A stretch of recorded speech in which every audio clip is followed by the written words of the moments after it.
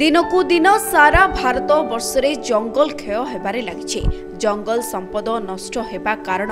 ଜଳବାୟୁ ପ୍ରଦୂଷିତ ହେବାକୁ ଲାଗିଛି ଫଳରେ ମଣିଷଠାରୁ ଆରମ୍ଭ କରି ଜୀବଜନ୍ତୁ ସମସ୍ତେ ଅଣନିଶ୍ୱାସୀ ହେଉଛନ୍ତି ତେବେ ଜଙ୍ଗଲକୁ ସୁରକ୍ଷା ଦେବା ବୃକ୍ଷରୋପଣ କରି ନିଜ ଅଞ୍ଚଳକୁ ସ୍ୱଚ୍ଛ ପରିମଳ ରଖିବା ଆଦି ସଚେତନାର ବାର୍ତ୍ତା ନେଇ ଯୁବକ ଜଣକ ସାଇକେଲ ଯୋଗେ ସାରା ଭାରତର ପ୍ରତ୍ୟେକଟି ସହରକୁ ଯାଇ ଲୋକଙ୍କୁ ସଚେତନ କରୁଛନ୍ତି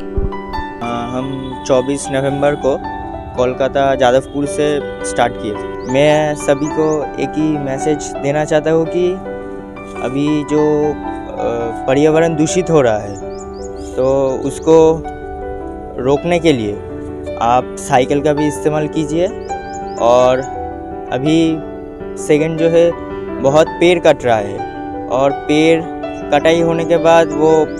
फिर से नई पेड़ नहीं लगा नहीं लगा रहा है तो मैं यही बोलना चाहता हूँ कि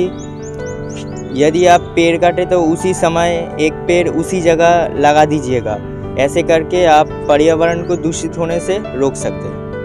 କଲିକତାର ଯାଦବପୁର ଅଞ୍ଚଳର ସୁଦୀପ ଦାସ ପ୍ରଦୂଷଣ ମୁକ୍ତ ଭାରତ ଓ ଜଙ୍ଗଲ ସମ୍ପଦର ସୁରକ୍ଷା ବୃକ୍ଷରୋପଣର ନାରା ନେଇ ଗତ ନଭେମ୍ବର ଚବିଶ ତାରିଖରୁ ସାଇକେଲ ଯୋଗେ ଭାରତ ଭ୍ରମଣ ପାଇଁ ସେ ଭବାନୀପାଟଣାଠାରେ ପହଞ୍ଚିଥିଲେ ସେ ଭବାନୀପାଟଣାଠାରେ ପହଞ୍ଚିବା ପରେ ଉତ୍ତର ବନଖଣ୍ଡ ପକ୍ଷରୁ ସମସ୍ତ ବନ କର୍ମଚାରୀମାନେ ସାମିଲ ହୋଇ ତାଙ୍କୁ ଭବ୍ୟ ସ୍ୱାଗତ ଓ ସମ୍ବର୍ଦ୍ଧନା କରିଥିଲେ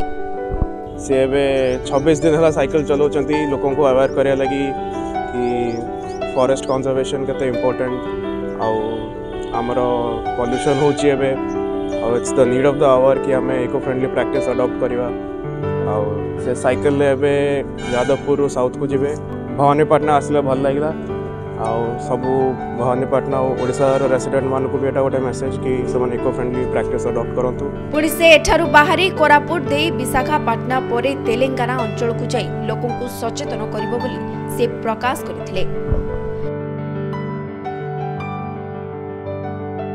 କଳାହାଣ୍ଡିରୁ ଲକ୍ଷ୍ମୀ ରଞ୍ଜନ ବାଗଙ୍କ ରିପୋର୍ଟ ଡୁମାଣି ଟିଭି